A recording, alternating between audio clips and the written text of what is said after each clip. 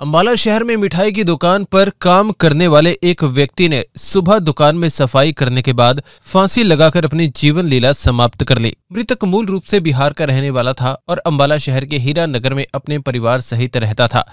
मृतक के दो बच्चे हैं। बताया जा रहा है कि मृतक की पत्नी उसे दो दिन पहले छोड़कर चली गई थी। इसी बात को लेकर मृतक आहत था। जिसके चलते उसने अपनी जीवन लीला समाप्त कर ली, जिसमें उसने अपनी पत्नी के घर से जाने का ज़िक्र किया था। पुलिस इस मामले में हर तथ्य से जाँच कर रही है।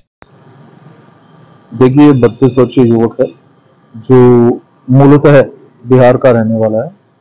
यहाँ पर हीरा नगर में किराए के मकान में रह रहा था और करीबन सात वर्ष से मिठाई की दुकान पर काम करता था। किसी ग्रह कलेश के चलते ये परेशान था, जिसके चलते इसने सुसाइड की है। लाश का पोस्टमार्टम करवाकर और बॉडी को परिजनों के हवाले कर दिया। और इसके अतिरिक्त कोई अन्य कोई संदिग्ध या कोई बात सामने नहीं आई। कुछ सुसाइड नोट वगैरह कुछ मिला नहीं इस तरह का आ, मौका से कुछ नहीं मिला। और आ, जो आ, कारण है रिसेंट वो यही बताया गया कि यह किसी गृह क्लेश के चलते परेशान।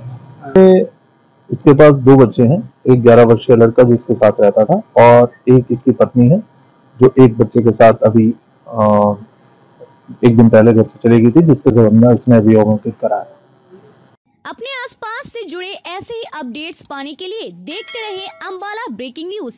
हमें फेसबुक पर लाइक करें यूट्यूब पर सब्सक्राइब करें और अपने एप्पल और एंड्रॉयड मोबाइल फ़ोन के प्ले स्टोर से हमारी app Ambala breaking news download करें।